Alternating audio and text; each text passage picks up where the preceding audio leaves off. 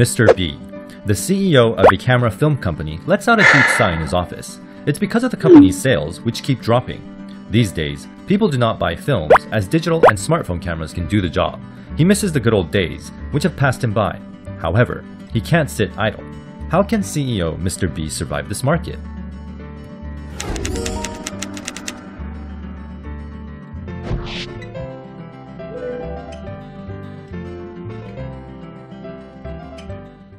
When customers ignore your products, you may be eyeing the trendy new businesses that are popping up.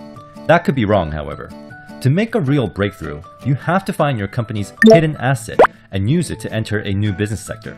Here, a hidden asset means an asset that a company already possesses but is not fully aware of its value.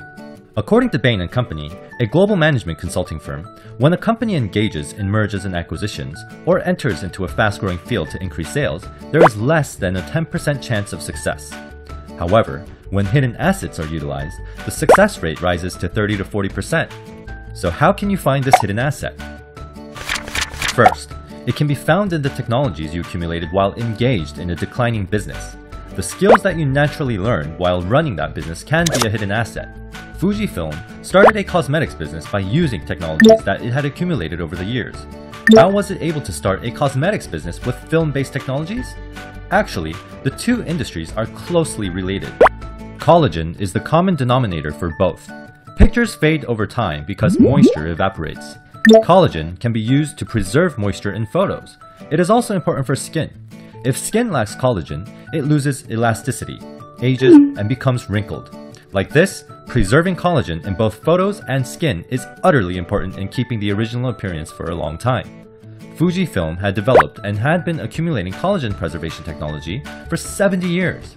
Thus, the company thought it could apply this technology to cosmetics. This technology was Fujifilm's hidden asset. It launched Astalift, an anti-aging cosmetics product in 2007. It became a smash hit and is still successful. Second, a hidden asset can be found in existing customers' needs. That was how Marvel Comics was able to become successful.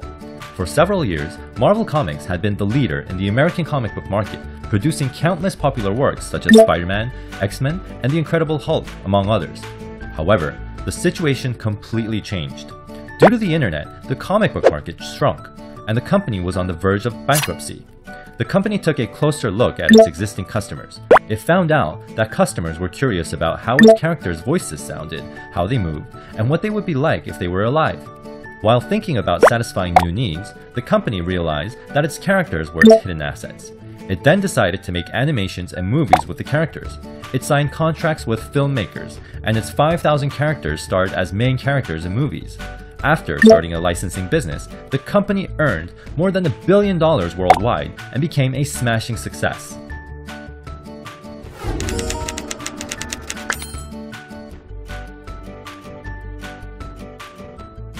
Are you also worried that your business is going out of trend? Don't give up on everything just yet. You could be in a fading industry. Like Fujifilm and Marvel Comics, find the hidden asset in your business. You might hit the jackpot where it's least expected.